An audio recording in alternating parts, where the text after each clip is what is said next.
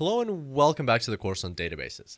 Today we're finally kicking off the part about the different normal forms and today we've got the first normal form. Very excited to proceed with this tutorial. Let's dive straight into it. So what is the first normal form? Well, let's look at the definition. A table is in first normal form if, first of all, it doesn't contain duplicate rows, and second, every cell contains only one value. So let's have a look at an example. Here we've got an example of a table can you tell me right away if it's in first normal form or not? So can we say that this is a table, um, a first normal form table or not? Well, the answer is pretty obvious. Uh, this table is not uh, 1NF. That's, sh that's short for first normal form. And why is it not? Well, because first of all, we've got a duplicate row here at the bottom. There's two of those rows. They're identical. And second, we've got some cells that contain more than one value. So indeed, this is a valid table. You could come across a table like this. But at the same time, if uh, the person that created this table wanted to structure it in uh, the first normal form, uh, then they wouldn't uh, have these issues that we've outlined with this table. So uh, the answer to the question is no, it doesn't conform. And uh, the question is now, how could we fix this table to make it conform to the first normal form, to the definition, to meet that criteria? And the, the way to do that is pretty straightforward. You basically just take, remove that duplicate row, and then where a person has two phone numbers, you split it out into two rows. You split that row into two rows, and uh, therefore the phone numbers are now separated. And here again, this person has two phone numbers, and as, you can see, we've separated them. And so now this table doesn't have any uh, duplicate rows, and also it doesn't have more than one value in each cell. So this extension, it still counts as uh, part of that phone number because it indeed is part of that phone number. So this time it does conform to the first normal form. So that's pretty simple, isn't it? Very, very straightforward.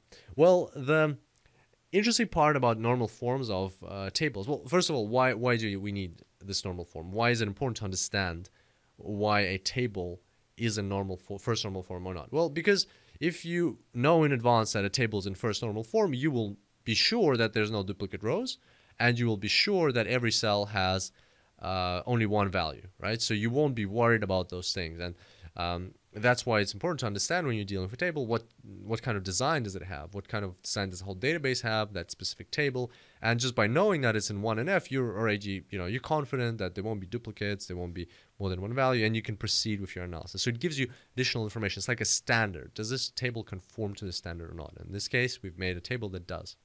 And so the interesting thing about normal forms is that the first normal form is very easy it's very simple to understand whereas from there it just gets just the difficulty skyrockets. So normal form two and three are will take us quite uh, some effort to get through. We'll definitely get through them, but it'll it'll be a challenge to understand them and to remember them.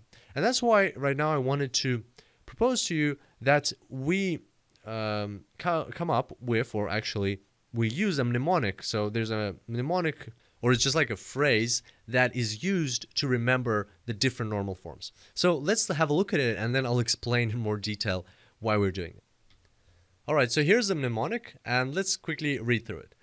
It says that every non-prime attribute must provide a fact about the key, the whole key, and nothing but the key. All right, so first of all, how do you remember this? Without going into detail why we need to remember it, but uh, the first thing that we need to do is remember it. And how do we do that? Well, whenever you are kind of feeling lost in the world of um, normalization of databases and the normal forms, then just remember me explaining uh, how in American courts they put their hand up and they they say that uh, they pledge to say uh, the truth, the whole truth, and nothing but the truth. So you see here the truth, the whole truth, and nothing but the truth, right? So that's exactly where this mnemonic came from um, is basically copied from there just uh, so that it's easier to remember.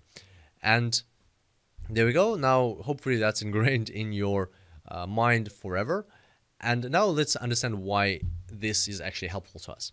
Well, if you look at the th uh, three different parts about the key, right, that is uh, associated with the first normal form. The whole key is associated with second normal form and nothing but the key is associated with third normal form. So basically, these uh, hints will help you at any point in time recover in your mind the criteria for each one of these normal forms. That's why this mnemonic is useful. So let's go ahead and try it out on the first normal form because we've just done the first normal form in this tutorial. So uh, the concept here is that every non-prime attribute must provide a fact about the key. And while for the other parts, so for the second normal form and third normal form, this part is important, right? So every non-prime attribute must, and then this uh, other phrase. For the first normal form, it's a bit uh, it's a bit less uh, strict like that. For the first normal form, the most important part here is just the words about the key. So that's the most important part. And basically, what that implies, this sentence, that something has to happen, something, something about the key, is implies that there has to be a key, right? They can, uh, in your table, there is a key. And let's look at our definition of a first normal form. So here, uh, well, the every cell contains only one value actually doesn't, the mnemonic doesn't help you remember that. So you'll have to remember that on your own. But basically, that your table doesn't contain duplicate rows, right, is exactly the same as saying that, um, or it, it comes out of saying that the table has a key, right? So if a table has duplicate rows, then it cannot have a key, right? It cannot have a, any candidate keys because uh, by definition, a candidate key helps you identify rows uniquely, right? So if you have a candidate key, by that candidate key, you should be able to identify any row uniquely. But if you have duplicate rows in your table, so basically if your table doesn't conform to the 1NF, to this condition, then you won't have a key. And that means that this sentence won't be true. So that's how this mnemonic will help you remember the first normal form. I know it's a bit uh, it's a bit not as straightforward at this stage. Not it might be a bit uh, vague right now, but just remember the phrase, remember the mnemonic, and remember that um, this part is 1NF, and basically it says that it's talking about the key, it's talking about a key, and that means that there has to be a key, and a key can only exist if there are no duplicate rows, and that will help you remember that that's what the 1NF is about, that it doesn't contain duplicate rows, and also just you'll have to add this on on your own, that every cell contains only one value. So there we go. Um, that's what the first normal form is, and that's the mnemonic that will help us throughout this uh, the rest of this section. And I hope you enjoyed today's tutorial, and I look forward to seeing you in the next one. Until then, happy analyzing.